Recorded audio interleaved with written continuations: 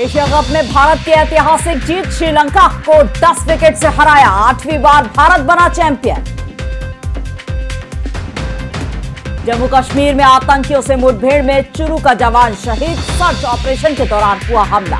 पिता बोले, चार बेटे होते तो भी देश को दे देता। मौसम विभाग का अलर्ट, गुजरात और पश्चिमी मध्य प्रदेश में भारी बारिश की आशंका। भारतीय मौसम विभाग ने 18 से 20 सितंबर तक के लिए देश में भारी बारिश को लेकर अलर्ट किया जारी। हेलीकॉप्टर से गर्भवती महिला का रेस्क्यू, रतलाम में दिल्ली मुंबई ट्रैक की मिट्टी वही 28 ट्रेनें डाइवर्ट इंदौर उज्जैन में सोमवार को भी हो सकती है स्कूलों की छुट्टी।